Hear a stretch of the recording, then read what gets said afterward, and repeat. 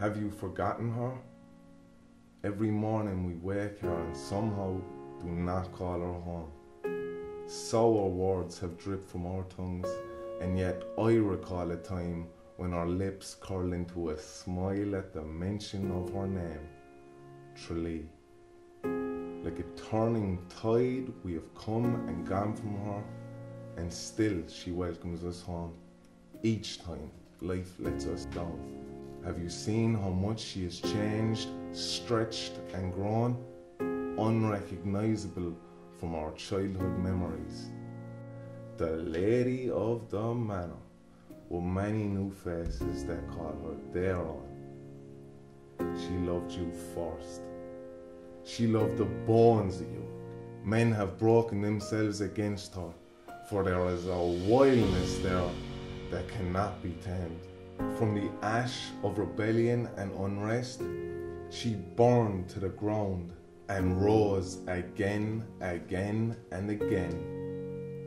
Anchor to the singing stones beneath your feet, let the mist of Denny Street fall soft upon your cheek and hear her whisper.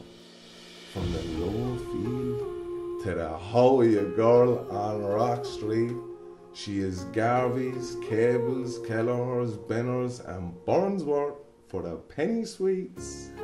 Tralee, aren't you grand? Fit for a pharaoh's daughter or a cobbler on an uncobbled street. She is the smile on every passing soul who knows all belongs and if they don't, they'll ask. You will find her in the early morning light and bird song of the town park. She is a vanilla slice from O'Mahony's, the smell and taste of a mile on a Friday. She kneels head bowed in the third pew of St. John's Church, no angel mind you, while her weekly factory whistles have gone silent. Her six o'clock bells still call us home.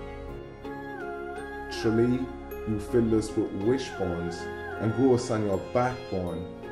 Will we fight for her now?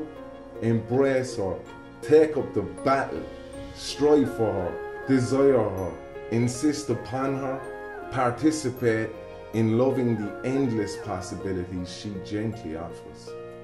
Truly, you are a kingdom, an uncut diamond in a Kerry crown, much more than a place or a capital town strand of the Lee, you ebb in all of us, our us, truly, my love.